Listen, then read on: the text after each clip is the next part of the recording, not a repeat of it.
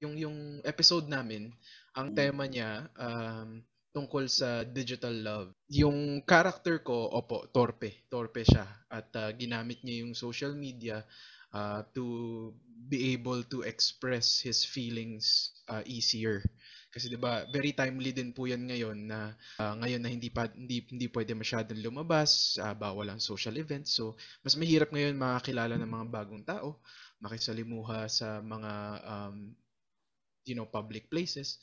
So, yung character ko, iginamit niya yung um, internet, kagaya ng karamihan ng tao ngayon, um, para maghanap ng um, bagong makilala at uh, eventually um, taong mamahalin niya. So, yun, pero torpe siya. so, yun, yun yung storya.